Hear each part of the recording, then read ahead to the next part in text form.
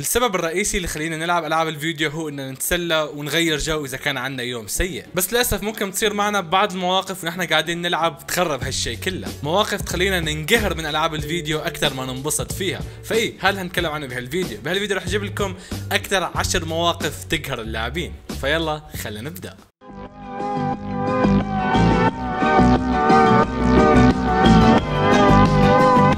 قبل نبدا الفيديو بس حاب أعلن عن الفائز ب giveaway الشهر الماضي على شاشة الألعاب من BenQ وأعلن عن giveaway الجديد. فإذا ما يهمك الموضوع check أول تعليق رح تلاقي فيه وقت بداية الفيديو. ال giveaway كان على هالفيديوهين اخترت الفائز من الفيديو الثاني 10 ألعاب فيديو قتلت لاعبينها.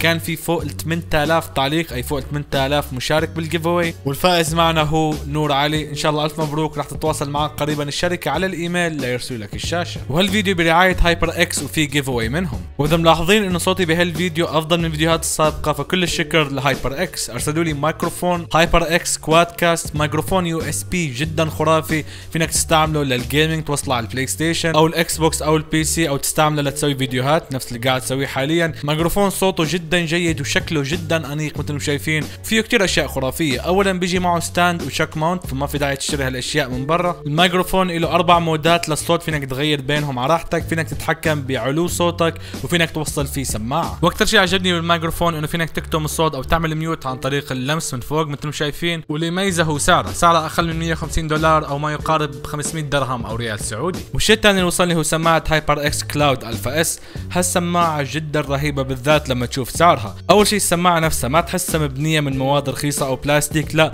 تحس معظمها حديد وشيء جدا مبين إنه quality عالي. نظام الصوت فيها محيطي 7.1 وشيء الحلو انه السماعة تكتم أي صوت خارجي لما تلبسها. فينك توصل السماعة بشكل direct على موبايلك على إيد ال PlayStation أو على اللابتوب أو ال PC أو فينك توصلها عن طريق وصلة ال USB الموجودة مع السماعة اللي راح تسمح لك تتحكم بكل شيء بالسماعة. تقدر تعلي أو توطي الصوت منها تقدر تعلي صوت اللعبة أو تعلي صوت الكلام إذا معك ناس. وتقدر تشغل أو تسكر النظام المحيطي 7.1 لمعلومات أكثر عن الميكروفون والسماعة check أول لينكات موجودة بالوصف. ومن فترة شركة HyperX بعثوا لي كثير أغراض سويت عنهم فيديو، بعض هالأغراض عم بستعملها بشكل يومي نفس ال mouse pad، ال keyboard وال headphone، وبعض الأغراض بكل صراحة ما استعملتها كنت ناوي أستعملها بعدين، نفس سماعة HyperX ال wireless المخصصة لل gaming، و mouse مخصص لل gaming من HyperX. فبما إنه وصلتني هالأغراض الجديدة ما راح أحتاج الأغراض القديمة اللي لسه ما فتحتها. فال giveaway عليهم ال giveaway على سماعة gaming wireless من HyperX و mouse gaming إذا حابب تشارك بال giveaway كل عليك تسويه. ادعم الفيديو بزر ال like اشترك في القناة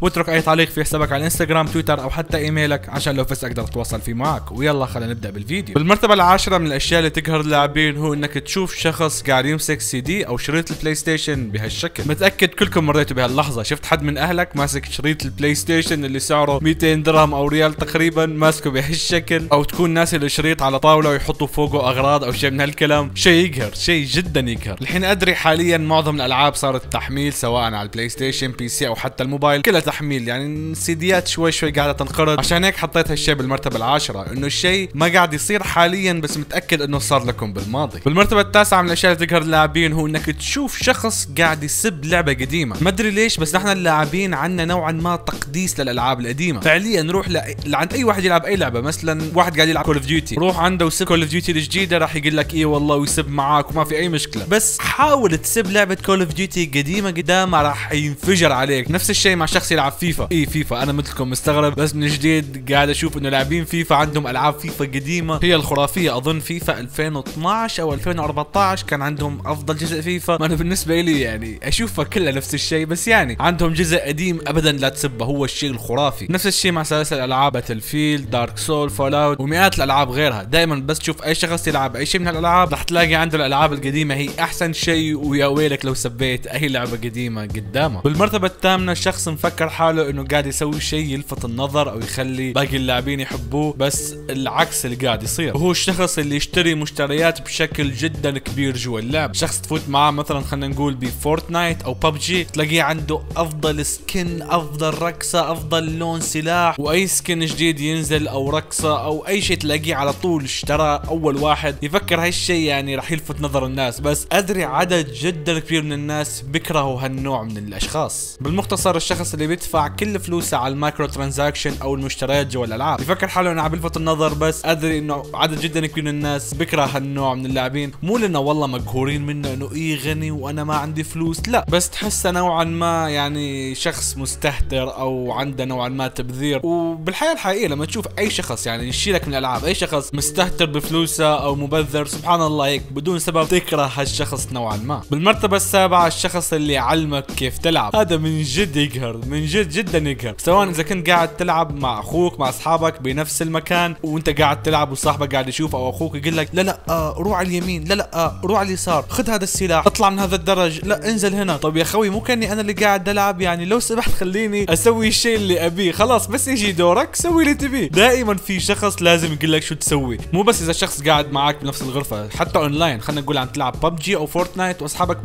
ميتين وانت آخر واحد عايش. أو Call of Duty search and destroy كل أصحابك ميتين وانت الوحيد عايش. لازم يطلع لك هالشخص اللي يقول لك شو تسوي. آه خذ هذا السلاح. لا اهرب هنا. ودائما هذا الشخص يتسبب بموتك وما يسوي أي فائده هو يفكر حاله إنه قاعد ينصحك. قاعد يفيدك عشان تفوز بس اللي قاعد يسويه هو العكس تماما. أنت لما تكون آخر واحد تبي تكون مركز تبي ما تتشتت ويجيك هذا الشخص. لا روح هنا روح هنا تتشتت وتموت بالأخير. وأنا بيني وبين أصحابي عندنا مقولة مشهورة نوعا ما. لما نكون قاعدين نلعب والكل ميت وواحد عايش وشخص قاعد يتفلسف عليه يقول له شو يسوي الشخص دائما يقول له اسمع شو رأيك أسوي Share Play وأنت تجي وتكمل عني لعب؟ ما يدري بال PlayStation 4 في خاصية اسمها Share Play تخلي صاحبك يلعب عنك. فدائما أي واحد يتفلسف يقول له لا خلاص خلاص اسكت تعال العب بدالي. لا والله العب بدالي كمل عني. بالمرتبة السادسة هي التحديثات الضخمة أو ال one day patch ما أدري الشركات مفكريننا إنه عايشين فوق server الإنترنت كل واحد عنده سرعة الإنترنت 1 جيجا الشركات الألعاب بالفترة الأخيرة عم بيعملوا تحديثات ضخمة. على سبيل المثال آخر سنة Call of Duty Black Ops 4 تقريبا كل شهر update وكل update مساحته فوق ال 10 جيجا. السلامات. مو الكل عنده انترنت سريع. خلينا نقول معظم الناس عندهم انترنت متوسط اللي هو سرعته بين 5 إلى 10 فكل تحديث 10 جيجا راح ياخذ منك 5 6 ساعات. وحتى لو عندك انترنت خرافي على ال PlayStation مثلا وسويت تحديث سريع. على ال PlayStation وال Xbox في شغلة اللي اسمها copying اللي هي بعد ما تسوي التحديث لازم النظام يستقبل التحديث. ف تاخذ منك ساعة على الأقل. وغير هذا كله في ال one day patch ال one day patch شيء جدا يقهر. اللي هو إنك تشتري لعبة وسي دي وخلاص متحمس تفوت يقول لك إيه في تحديث 50 جيجا لازم تسويه عشان تلعب. طب أنا ليش شاري اللعبة سي دي إذا رح تعطوني إنه في تحديث 50 جيجا؟ فللأسف هالشيء جدا يقهر بالفترة الأخيرة. التحديثات الضخمة شركات الألعاب خلاص. قبل كان يهمهم نوعا ما إنه لا رح نسوي تحديث نحاول نصغر حجمه عشان اللاعبين. بس الحين بطل يهمهم خلاص. تحديث 10 جيجا ورا تحديث 10 جيجا كل أسبوع أسبوعين update فللأسف حاليا لازم يكون عندك نت سريع. ومساحه تخزينية جدا كبيرة عشان تلعب براحة. بالمرتبة الخامسة شيء ما يقهر كل اللاعبين بس يقهر ال hardcore gamers أو اللاعبين اللي ماخذين اللعب بشكل جدي زيادة عن اللزوم. وهالشيء هو لاعبين الموبايل أو الشخص اللي ما يلعب إلا على الموبايل. فعليا أدري معظمكم مستغرب وعدد جدا كبير منكم ما يلعب إلا على الموبايل. بس روحوا لعند أي واحد hardcore gamers أو أي جماعة آه لاعبين بشكل جدا جدي وقولهم أنا mobile gamer أو ما العب إلا على الموبايل راح يطلعوا عليك بنظرات استحقار نوعا ما. صراحة ما أدري ليش هالشيء موجود بس صدقوني موجود. مو مصدقيني روحوا على جوجل اكتبوا mobile gamers وبعدها كلمة Reddit وراح تلاقوا ب Reddit ناشرين كتير memes ومسخرة على الشخص اللي يلعبوا على الموبايل بس.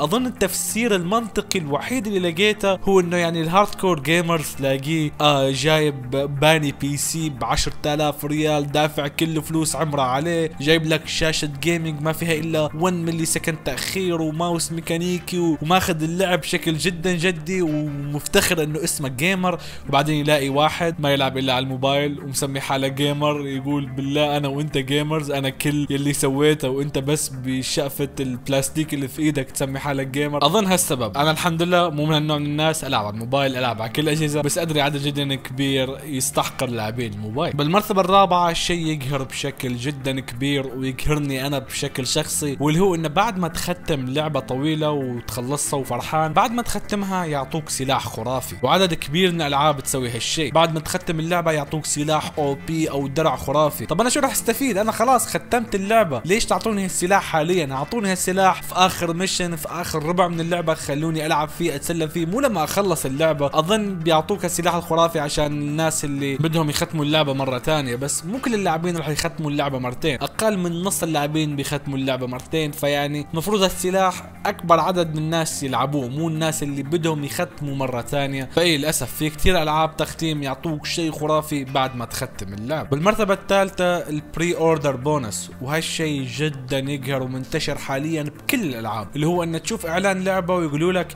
سوي pre-order وخذ هالمحتوى الإضافي جوا اللعبة. طيب أنا لعبة لسه ما لعبتها ما أدري لعبتكم حلوة ولا فاشلة تقولوا لي أسوي pre-order وأدفع سعرها قبل نزول اللعبة بسنة عشان آخذ محتوى إضافي جوا لعبة أنا ما أعرف أي شيء عنها. الحين متفهم إنه بعض الأشخاص يلعب لعبة كل سنة نفس Call of Duty أو فيفا ومتأكد راح يلعبها كل سنة فيعمل pre-order وياخذ محتوى إضافي ومتفهم هالشيء نوعا ما. بس تلاقي لعبة جديدة ما لها أي جزء قبل وحاطين لها إعلان وكاتبين بنهايه الإعلان سوي pre-order وخذ خريطة المدري إيش. طب أنا ما أعرف شو لعبتكم حتى أعمل pre-order خلوني أشتريها ألعبها ولو حبيتها بعدين أشتري المحتوى إضافي ما في أي مشكلة. بس لا عادة المحتوى اللي يجيك بال pre-order خلاص لو ما عملت pre-order ما راح يجيك بعدين ما راح ينزل خلاص راح عليك للأبد. والشيء المحزن إن 90% من شركات الألعاب حاليا قاعدين يمشوا على هالنظام. بالمرتبة الثانية شيء أظن كلكم صار معاه بدون استثناء وكلكم انقهر من هالشيء واللي هو إنه لما تجي الوالدة أو الوالد الله يحفظهم يقولوا لك وقف اللعبة وتعال وتكون قاعد تلعب لعبة اونلاين قاعد تلعب ببجي أو Fortnite أو أي لعبة اونلاين وأنت من آخر الناس عايشين وما فينك توقفها ويجي حد من أهلك يقول لك الحين بتسكر اللعبة وبتجي. طب يا أمي والله ما أقدر أوقف. أنا من آخر عشر أشخاص عايشين و...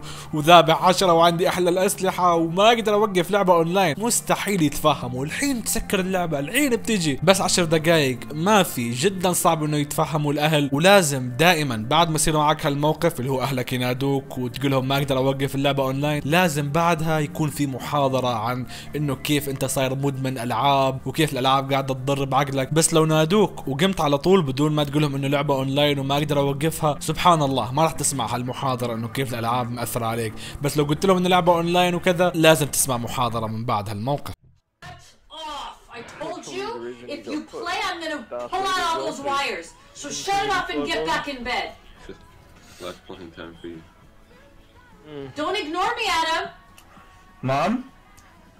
I've been sleeping all day. I don't care! Get back in bed! Why are we conceived, Doc? We're.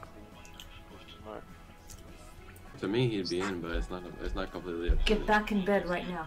Can you not fucking stream here? I don't give a shit what you're doing. It's school time.